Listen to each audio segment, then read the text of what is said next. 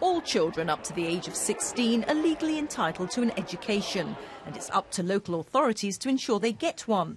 Ofsted estimates that over 10,000 young people in England don't attend full-time school because of illness, exclusion or teenage pregnancy. And it says some are being failed by their council.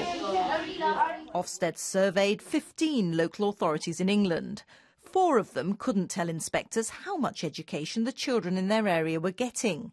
And in around half the councils surveyed, children and young people were only getting between five and eight hours education a week. We want those who are responsible for uh, making sure that children have access to uh, education where they can uh, act and act now. You know, right here, right now. They need to be going back into their local authority offices and their council chambers and asking those tough questions and saying, you know, where are these children? What are they being taught? Are they accessing as much uh, education as they should be? And how do we know?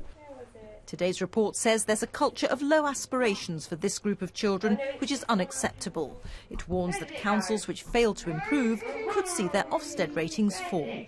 Rita Chakrabarti, BBC News.